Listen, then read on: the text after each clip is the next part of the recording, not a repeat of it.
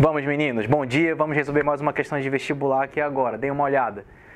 A palavra biotecnologia, olha só, questão de biotecnologia que caiu no Enem em 2015. A palavra biotecnologia surgiu no século XX, quando o cientista Herbert Boyer introduziu a informação responsável pela fabricação da insulina humana em uma bactéria para que ela passasse a produzir a substância.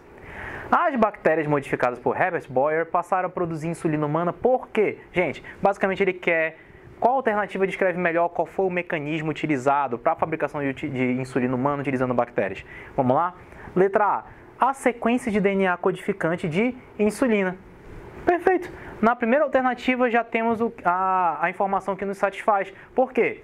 A bactéria, ela recebe o quê? Um DNA, ou seja, um pedaço do DNA contendo um gene, e esse gene vai codificar a insulina humana. Esse gene vai ser acoplado aonde? No plasmídio da bactéria, e aí a bactéria ela vai ler essa parte do DNA, produzir as proteínas necessárias para gerar insulina. Então tá perfeito. Isso aqui, gente, é a tecnologia do DNA, tá? Interação desse DNA nas bactérias. Perfeito. Letra B.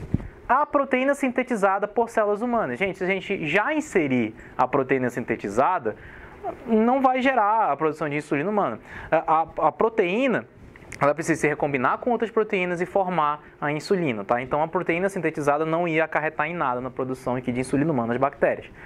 C. Um RNA recombinante de insulina humana. Não, gente. O RNA, o que, que vai acontecer? Ele é uma fita complementar. Lembra que eu falei para vocês? O DNA é como se fosse um livro de receitas, tá? O RNA ele é a receita e a insulina, ou seja, as proteínas, elas são o quê? O bolo. Você não pode entregar um bolo pronto para alguém e dizer Pronto, agora aprende a fazer bolo. Não é assim que funciona. Então, se você colocava já a proteína sintetizada, ou RNA recombinante, ou RNA mensageiro, que diz na alternativa D, inclusive, ela vai produzir uma proteína específica e pronto, acabou. Não vai produzir mais insulina nenhuma, porque a informação para ela continuar produzindo não vai estar existindo ali na bactéria.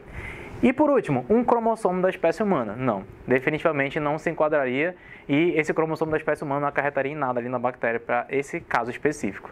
Beleza, gente? Então a alternativa A é a perfeita que condiz o que queremos.